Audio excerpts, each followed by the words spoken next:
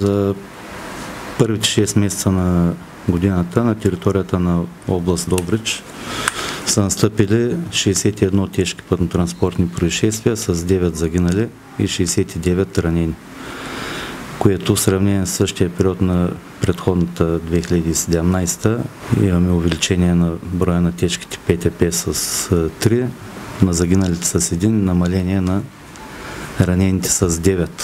Но към настоящия момент цифрите вече са съвсем други.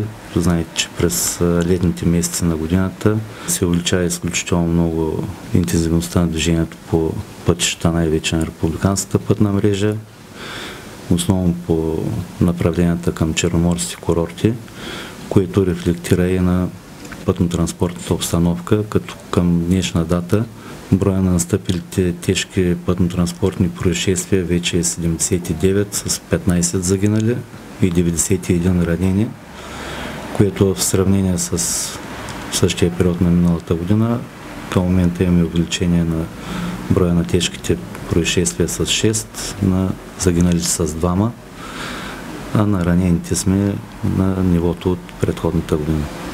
Кои са най-често срещаните причини за катастрофи, господин Минев? От анализа, който изготвихме за първото 6 месече на годината, като първостепенна причина за настъпване на тежките происшествия и съответно последиците от тях, това е движението с превишена и несъобразена скорост, което в немалко от случаите в съчетание с употреба на алкохол или наркотици от страна на водачите или липса на правоспособност рефлектира на обстановката и води до настъпването на тия тежки происшествия с по-тежки последици.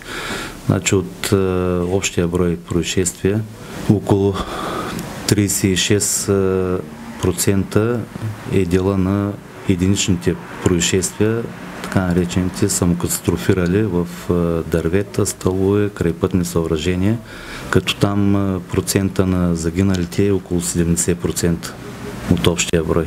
Това е неовладяване на моторното превозно средство в най-общ смисъл. Точно така и както ви казах, доста от случаите като съпъсваща причина е употребата на алкохол или наркотици от страна на водачите както и липса на правоспособност. А, а хубавите пътища причина ли са за повече катастрофи? Хубавите пътища би трябвало да са причина е, за постигане на високо ниво на пътна безопасност. На първо място, според мен, това е състоянието на пътната инфраструктура. На следващото място е организацията на движение, значи, който така е навътре с темата пътна безопасност. Е, всеки знае, че пътния контрол, който осъществяваме ние, не е първостепенният фактор по важност, който да определя нивото на пътната безопасност. Коя възрастова група водачи е най-опасна за останалите участници? Възрастните или младите? Най-много като брой тежки происшествия са допуснати от водачи на възраст между 25 и 64 годишна възраст. Много е широк диапазон. Ами, широк е, да.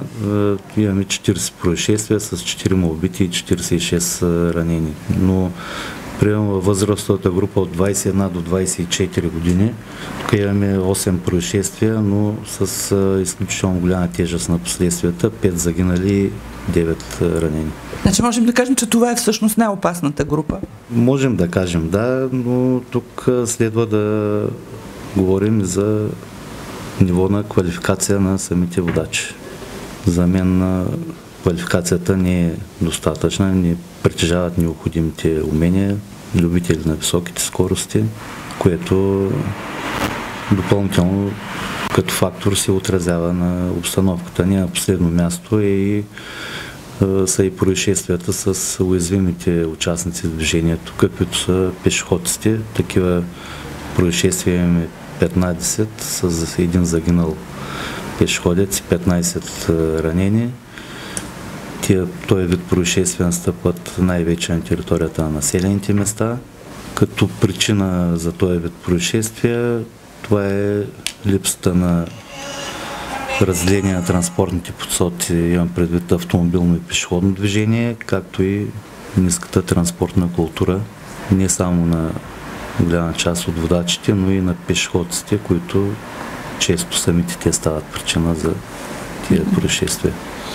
Тук в общи линии казахме кои са основните а, мероприятия, които трябва да се направят, нали, всъщност да се предприемат, за да се предотвратят пътно-транспортните происшествия. Какво друго бихте посочили в тази насока? Преди всичко повишено съзнание на водачите, толерантност на пътя, да бъдат постоянно средоточени в конкретната пътна обстановка и съответно да спазват правилата за движение, които са разписани в закон. Предстои една проверка на пешеходните пътеки, пожарогасителите в такъв аспект. Какво предприема КАТ Добрич? За пешеходните пътеки по разпореждане на главния прокурор, още в края на миналата година, беше разпоредена проверка на всички пешеходни пътеки в населените места, както и по републиканската пътна мрежа. Отделно от това е, проверки на всички повдигнати пешеходни пътеки. Тия проверки бяха извършени на местно ниво, тук с е, наши представители, съвместно с е, представители на общините и на областно пътно управление като за всяка една пешеходна пътека беше изготвен конститивен протокол. За съжаление, от доклада, който е изготвен до министра на вътрешните работи, съответно и до главния прокурор, във връзка с констатациите от проверките, сме една от областите, в които голяма част от пешеходните пътеки не отговарят на изискванията. Имам предвид като местоположение, устояние една от друга, маркировка с различен цвят от е, белия, липса на маркировка на надписа Погледни, който е задължителен при маркирането на пешеходните пътеки, примерно несъответствие в зоните на кръстовища, където имаме светлинно регулиране. Голяма част е, от тия места пешеходните пътеки са изпълнени като тип зебра, което не трябва да е така, трябва да бъде маркирана пешеходната пътека с две прекъснати линии. Други така несъответствия по отношение на използваните строителни материали при изграждането им има изискване към боята, маркироваща боя, която трябва да бъде противоплъзгаща. Но така иначе за всички пешеходни пътеки са изготвени съответните протоколи, изготвени са докладите и се надявам. От наша страна сме изготвили съответните сигнални писма и предписания до администрацията, управляваща пътя за привеждане в съответствие с нормативните изисквания. Възможността е налична при положение, че предстои ремонт на много от улиците в Добрич. Само за Добрич на този етап възможността за корекция, корекция и така привеждане на всички пътеки съгласно изискването е, не е много голяма, предвид така изкупните работи във връзка с водния цикъл. Имам уверението и на кмета, и на заместник кмета, че след приключване на дейностите вече е, ще се мисли за превъзстановяване на стилките, за коригиране на тия нередности, а и не само за това, и предвид е, голямата интензивност вече в областния град на автомобилното движение се мислят решения за промяна и в организацията на движението по някои от улиците в града. Акция Скорост? От началото на седмицата тече, тя е международна специализирана полицейска операция по линия на ТИСПОЛ, организацията на службите пътна полиция, като основната тематика е контрол на скоростта. Така че ние също участваме в тази операция с наличните автоматизирани технически средства. В края на седмицата ще отчетем резултати. Нарушенията ежедневно са доста, бих казал. А ще има ли специални патрули на определени места, официално обявени? Официално не ги обявяваме. Това отпадна вече като изискване. Патрулите ще бъдат разположени по наша преценка на места от вътрешноградската пътна мрежа, така и по републиканската пътна мрежа, предимно на места с потенциална опасност за пътно-транспортни происшествия, причина скорост. Има ли до вас достигнали сигнали срещу некоректно поведение от страна на патрулите към граждани или пък оплакване от страна на патрулите за некоректно поведение на гражданите при проверка? Няма такива сигнали официални получаване.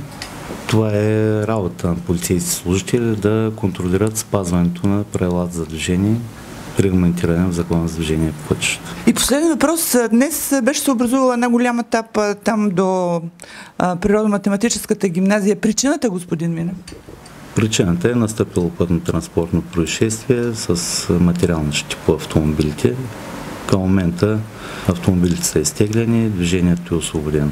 Само, че вие получихте информация за много тежка обстановка след изтегляне на автомобилите, от гледна точка изтекло масло. Да, има разлив на масло от един от автомобилите. Платното уведомени са общината.